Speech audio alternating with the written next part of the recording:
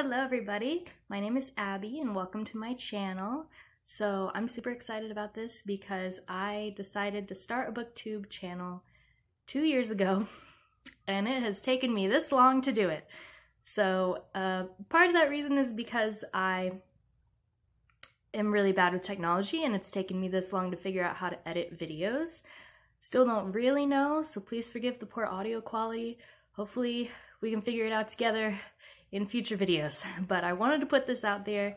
This is going to be my July wrap up. I read a lot of books in July. I read some good books in July, DNF'd a few books in July, but not even because they were super bad, um, but you'll see. So yeah, a couple things about me. I'm 26.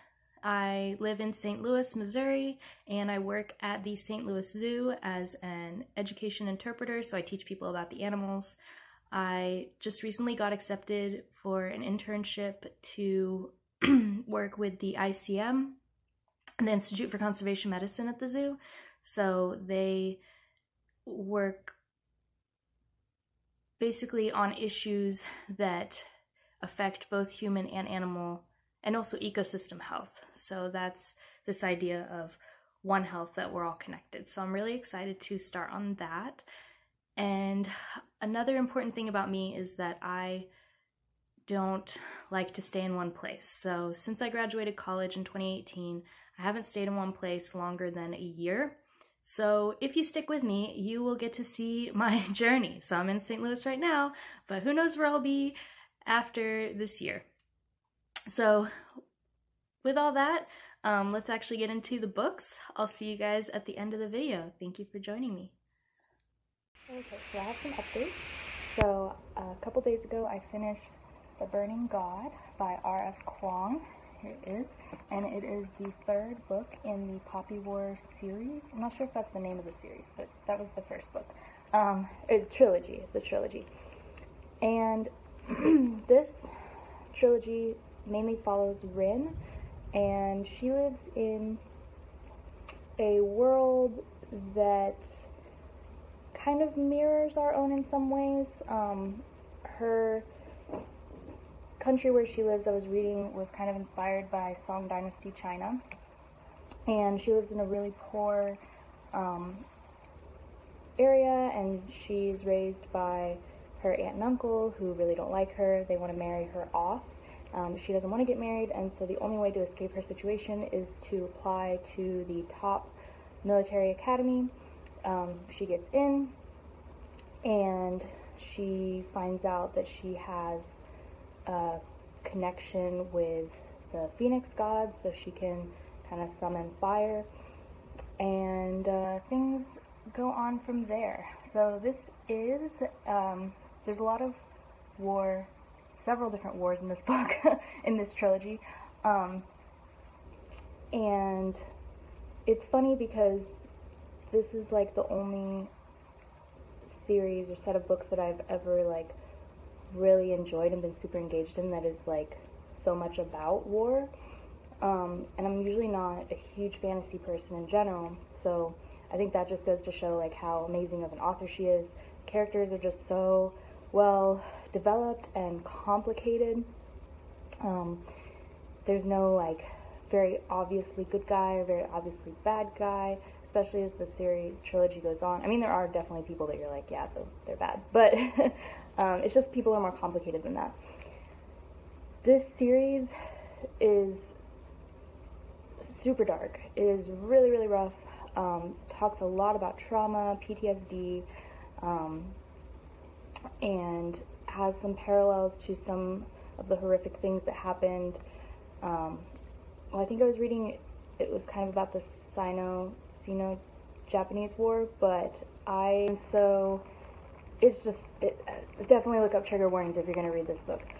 I will say I really liked it. Um, this one was a little slower of a read for me than the other two, but I hadn't read the other two in like two years, so some of it was just me catching up and like getting back into the flow of things.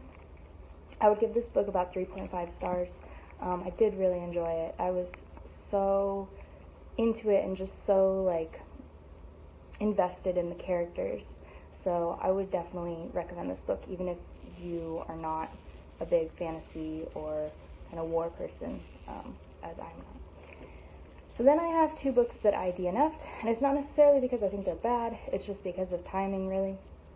So the first one is The Bone Season by Samantha Shannon.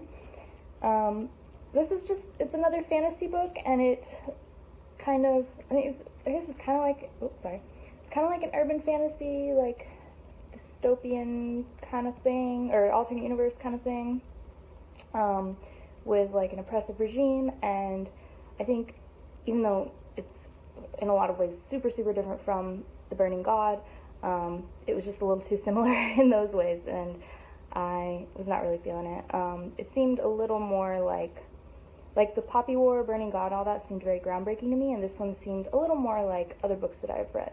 Um, I don't necessarily think it's bad. It just didn't really capture my attention, and I, I don't know. I mean, I didn't get super far, so um, other people might really enjoy this book. I know it's a popular book, um, but I did check this book out from the library. I checked all these books out from the library because I never really read a book more than once, and I don't have the money to buy a bunch of books, um, so I do have to return it. So I'm just not gonna finish it.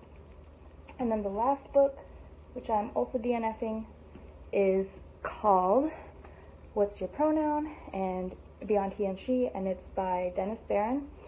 And this one was super interesting to me. It's a nonfiction book, and it kind of goes over the history of the search for and usage of, um, you could say like a third pronoun, a neutral pronoun, or just a, a pronoun that is not inherently gendered. Um, and the history goes back a lot farther than I think a lot of people think, um, than Shakespeare's time, probably even before that. And so he goes over the history. I think he goes over kind of the linguistic side of things and modern usage and um, controversies and stuff. And I do think this book is really interesting. It was a very easy read um, as I was going through it, but I recently started taking a linguistics course just for fun online, and um, since this one is also a little bit linguistics-y, I didn't want to double dip. so um, I might pick this one up later, but right now I want to focus on my class. So I'm also going to be returning this book. So those are the three updates that I have for now, and I'll see you guys later. So I've read three more books so far. First one is Mooncakes by Wendy Xu and Suzanne Walker and this is a YA graphic novel and our protagonist in this book is a witch but she's still learning how to use her magic. She lives with her two grandmothers who I believe are in a relationship and she is also queer which is pretty cool. There is a lot of representation in this book. There's also a character who uses they them pronouns and our protagonist also has hearing aids and she does talk about her experience with them and how society has perceived her as well. But the story basically follows or starts when she is in the woods and runs into an old childhood friend who is also a werewolf. And this friend is in the woods because there is apparently a demon in the woods. And the only way to release the demon is to use wolf magic, and some bad people are trying to capture them, the friends, to use this magic. So they team up with help from the grandmothers and set out to fix this whole situation. So it was a super cute book. It did have a romance in it, which was cute, although I thought it moved a little quickly. I didn't really see a lot of the chemistry, there just wasn't really a lot of time with the two characters before they got together, and I would have liked to see that, but it is just a very short book in general. Don't actually know if it has a sequel or if it's a standalone, but I would have read it if it had been broken up into more books and the romance had been spread out a little more. But that's just me. I gave this book three stars, or no, three and a half stars, because it was really cute. It was a fun read, super fast read, and the illustration was also really beautiful. I really enjoyed the pictures and the colors. Is one I'm looking for in particular. Oh, I can't find it, but well, that's a spoiler. Okay. but yeah, there's just a view of some of the illustrations. So yeah, that was this book, and then the next book I read was The House in the Cerulean Sea by T.J. Klune. I loved this book. I gave it four stars. I was not expecting to like it as much as I did. It surprised me. It's not the genre that I would usually go with. I don't even really know what genre this is. It has fantasy or magic in it, but it's also well, I'll tell you what it's about. So basically, our protagonist lives in a world that is similar to ours, except that there are magical creatures magical people. But these magical people are treated as second-class citizens. They are not given the same opportunities as non-magical people, and there is a lot of prejudice against them. There's always signs around the city, the villages that say see something, say something. And our protagonist works at a company which goes to different orphanages for, specifically for magical kids, and checks them out and makes sure that they're following all the rules.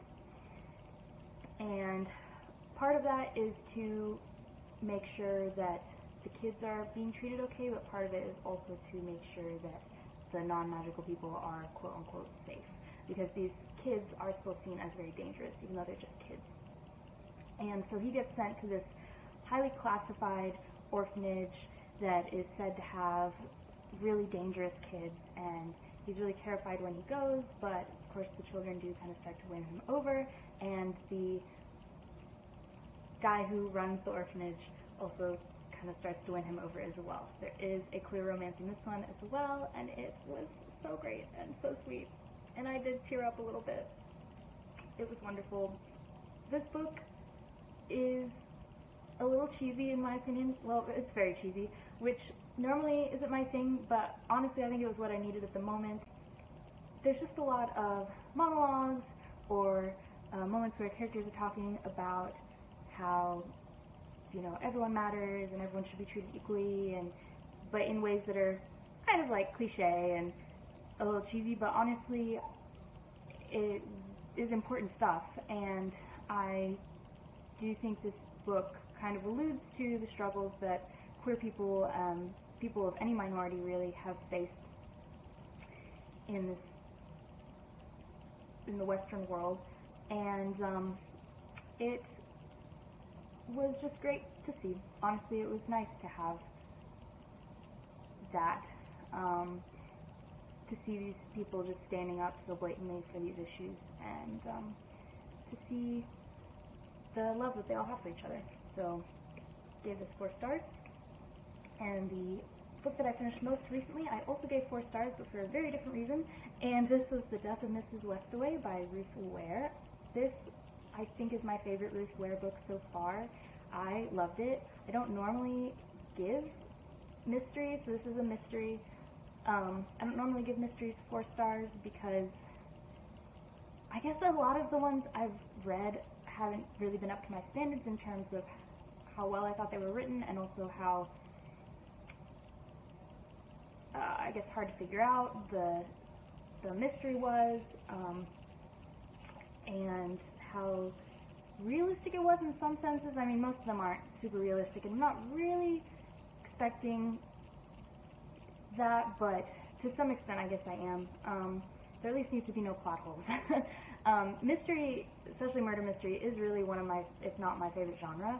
I just have really high standards. But I, I will still read like a three-star book because it's a good time. Um, but this one was a four-star. And this one follows a girl who, well, she's a, a young woman who is living in Brighton, I believe, on the pier, and she is a tarot reader. Even though she doesn't really believe in it, that's how she makes her money. She is very poor. She's all alone. Her mother has passed away. She doesn't know her father. And she is really struggling to pay all her bills. And to make things worse, she owes some people money and they are starting to threaten her life. She received a letter in the mail saying that she is going to be one of the beneficiaries of the will of this woman, Mrs. Westaway, who recently passed away, who is apparently her grandmother. The only problem is she knows her grandmother. Um, who has also passed away, but is not the same Mrs. Westaway. She's a different Mrs. Westaway, they, but they have the same last name basically. So there was some sort of mistake, but she decides because she's desperate that she is going to go anyway and get this money to save herself and pay off her debts. But when she gets there, she finds out that things are a lot more complicated than that, and there are a lot of secrets, and it unfolds from there. And it was so good. I think I read this in less than 24 hours. It was just super engaging and kept me reading, and the ending was really surprising. I didn't guess it, so that was really nice and refreshing. And that is why I gave this book four stars. So that's the last one for now, and I'll see you with the next update. So last night I finished Girl in Ice by Erica Ferencik. I hope that's how you say her last name. And this book is about a girl or a woman who is a linguist. And so that's part of the reason that I picked it up because I have been studying, kind of self studying linguistics, and um, she's a linguist she specializes in Old Norse languages, I think, although that's not super important in this book. She has severe anxiety.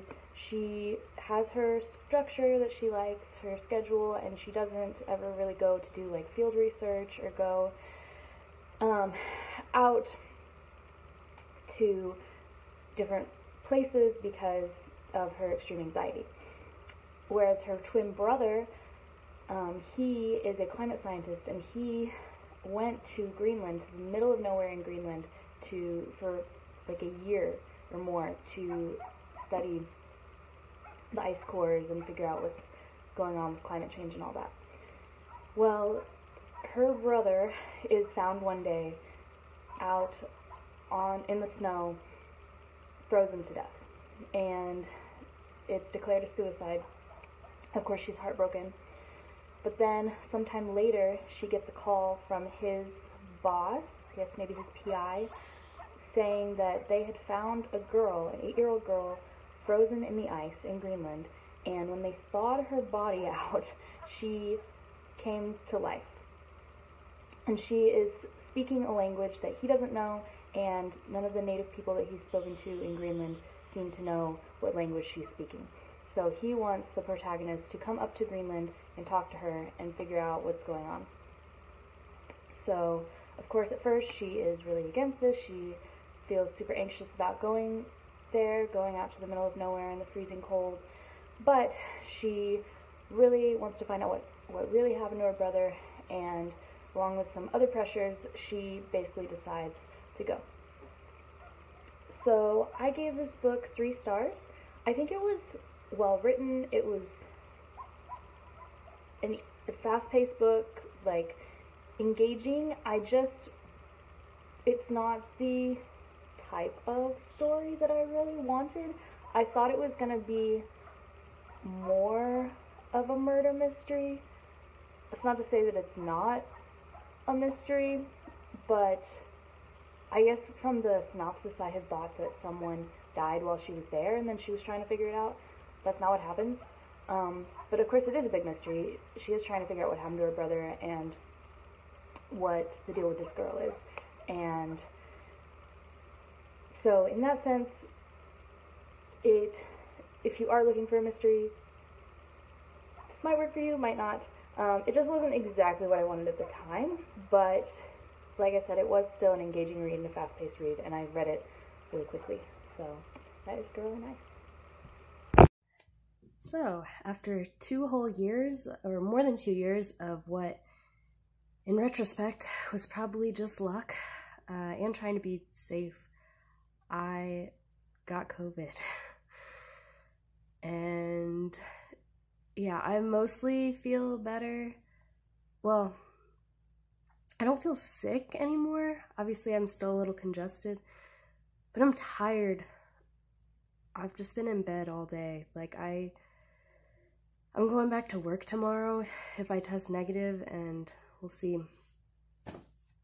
So, yeah, sorry I look like a mess too. Uh, but I did finish two books. So, we have The Midnight Library by Matt Haig. This one is about a woman who is she struggles with depression. She also is just having a really bad time. Um, she's not happy with her life. She has a lot of regrets. And this first day in particular that we follow her, it just seems like everything's going wrong in her life. She's losing everyone and everything that brings her joy, and she decides to end her life. So that happens at the very beginning. They don't describe how she does it or anything, um, but that would still be a trigger warning, I guess, to look up, depending on how comfortable you are with that kind of stuff. But she wakes up and she's in this library, and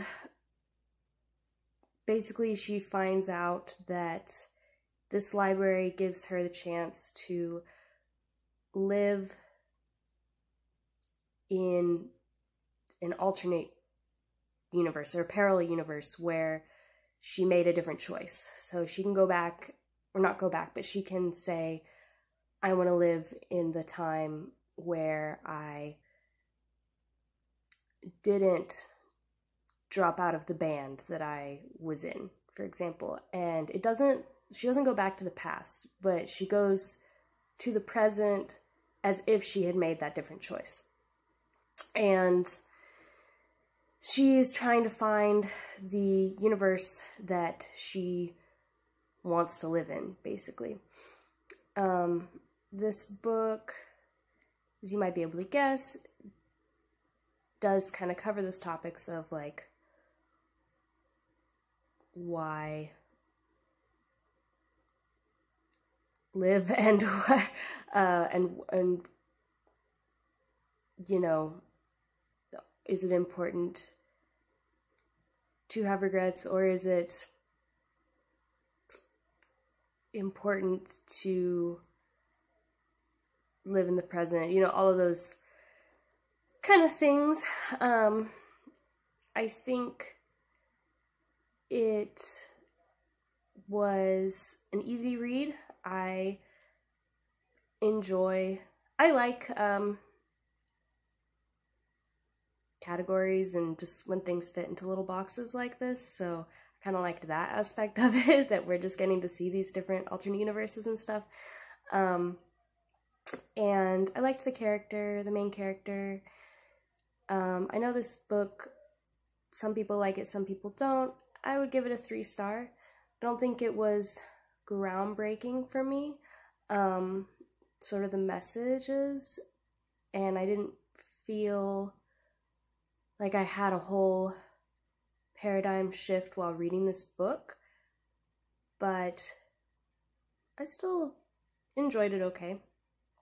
And then the next book I finished was Catherine House by Elisabeth Thomas. And this one I really liked. I'm going to say 3.5 stars. I don't think that, like, I already can think about problems that other people would have with this book, which is something that I need to stop doing, I think, because I, it's probably a sign I've been watching too much booktube. Um, because what really matters is what I thought, right? Or what each individual person thinks. And I really enjoyed it. Um, for example, there were a couple characters that, like, never were fully fleshed out. Like, they kept saying this one character's name, and I was like, who is he again? Um, but I don't know. I liked the atmosphere. I liked that we didn't really have a grasp of what this whole house and what uh, the campus looked like. There wasn't a map, and they didn't describe it very like accurately, or it was hard to picture. Anyway, I'll tell you what it's about. So, Catherine House is a university kind of. I mean, you do you get a degree at the end. It's three years, but and it's uh, free, but it's very very secretive and there's never any media or anything inside the house. Even once the students get accepted, they're never allowed to leave. Well, they are. They're not allowed to leave for the three years while they're there. They don't have phones. They're not allowed to really contact the outside world unless they build up points, which you get. I don't remember how you get. points. I think you can work like a job at the school, and there's some other ways you can get points, maybe grades or something. But it's so expensive that you basically can't contact anyone from the outside world. And so you're very isolated for three years, and there's a lot of typical tracks, I guess. It seems like um, they have, yeah, like chemistry and art history and different things, but then there's also a study that was kind of controversial in the past, and you don't really know what it is until later in the book, so I won't spoil it, but that's when things start to get a little more sketchy is when you learn that there may be some studies um, or experiments that have been happening in the past at the university that may still be happening that may not be completely ethical and um, it's all very mysterious and yeah i don't think that this book was very scary like for me not until the very end were there parts where I was kind of like, oh, that's a little weird. Uh, but I still really enjoyed it. I thought it was it was fun, a fun time. I honestly just really liked the friendship that the characters had. There's a main friend group in here, and I it just made me miss being in college. And as much as there were some really crappy times in college, I miss having that core group of people and just feeling a bit more carefree about about certain things. So, yeah, 3.5 stars. I really liked it. So I am unfortunately going to be DNFing this book, A Song of Wraiths and Ruins by Roseanne A. Brown. Um, I know a lot of people have had really good things to say about this book, and I'm sure it really is good and that a lot of people would like it. I just am not in the mood for fantasy, especially not a YA fantasy, with the sort of usual writing style that I feel they tend to have, and having to learn a whole world, all that world building and everything. I just, I'm not really in the mood for that right now. But the premise sounded really interesting, so this book takes place in a world. Uh, the region is called Sonande, and we have two point of views. So one point of view is from a boy named Malik, and he has two sisters. The three of them are from an area that was taken over by the ruling party, and so their people are seen as kind of less than by the other people in the region or in the land. And um, in the kingdom, and they are trying to get to the main city of Ziran to start a new life and uh, help get their mother and I believe grandmother um, a better life as well. But while they are at the gates, they run into some trouble. The youngest sister ends up making a wish that leads to sort of disastrous consequences. They basically awaken this spirit that tries to take the sister. Malik makes a deal with him that he will do anything the spirit wants if the spirit will just let his sister go. So, in return for letting his sister go, the spirit asks Malik to kill the princess.